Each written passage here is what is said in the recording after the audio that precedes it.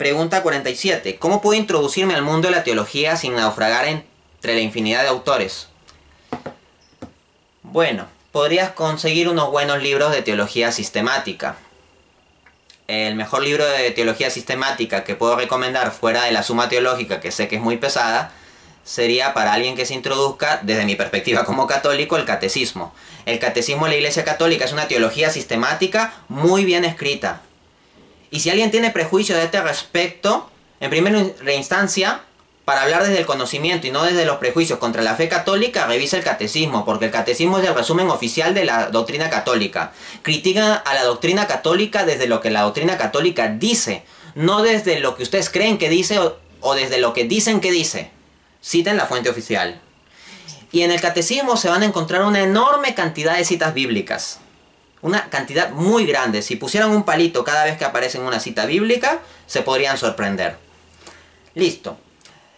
Otra recomendación sería, pues tratar de ubicar cuáles son los autores más relevantes. En mi proceso de investigación, cuando pasé de ser ateo a ser católico, esa fue mi metodología. No me voy a leer a todos los teólogos católicos del mundo, no me voy a leer a todos los teólogos protestantes, no me voy a leer a todos los teólogos ortodoxos, etc. Pero puedo tomar a los más relevantes. En especial yo me he familiarizado mucho con los escritos de Martín Lutero. Entonces, uno puede ubicar cuáles son los personajes más relevantes de la historia de la teología. Santo Tomás de Aquino, San Agustín de Hipona, Martín Lutero, Juan Calvino, etc.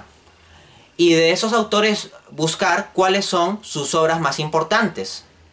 Y una vez que has ubicado una obra más importante, cada uno de ellos, léete esas obras. Y ya tienes una visión general sin perderte en una infinidad de autores. Sigamos. 48. ¿Qué le recomendarías a un principiante en la, apologética, apologética para que organice su información para luego estudiarla? 1. Ponle nombre a tus archivos. Suena un consejo tonto, ojo, pero muchas veces cuando uno se descarga libros de internet o se descarga artículos de internet, etc., lo deja con el nombre que salió la descarga. Y a veces esos nombres son números o el título del libro con guiones. No, hazlo de modo sistemático. En mi caso, yo pongo en mayúsculas el nombre del libro del artículo y pongo coma y el nombre del autor. Y después lo clasifico en carpetas. En mi caso yo tengo una carpeta de apologética general, apologética teísta, una carpeta sobre religión, donde trataría la apologética del cristianismo, y una, carpeta que llamo teología donde meto cuestiones principalmente controversias sobre doctrinas católicas. Y voy metiendo mi información allí en las carpetas, todas muy ordenadas con sus respectivos nombres y autores.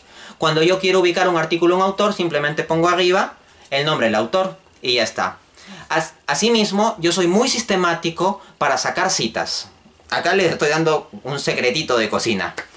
Pero bueno, es que los quiero y les doy el secretito. Cuando yo leo un libro, por ejemplo, Las Confesiones de San Agustín, pongo, abro un documento Word al costado, pongo Confesiones, en mayúscula entre comillas, debajo entre paréntesis pongo San Agustín, coma, y pongo la editorial, luego lugar de publicación y el año de publicación.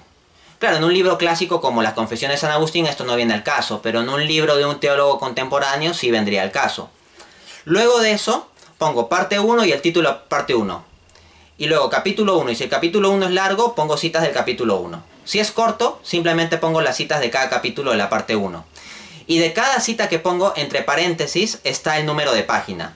Y yo voy leyendo y cada vez que encuentro algo interesante saco la cita y la copio en el Word. De tal modo que cuando tengo que volver a mi información ya no vuelvo al PDF original, sino vuelvo al Word donde he sacado las citas. Y así he logrado organizarme muy bien y ustedes pueden ver que en mis libros y artículos cito con bastante precisión, detalle y cantidad a múltiples autores.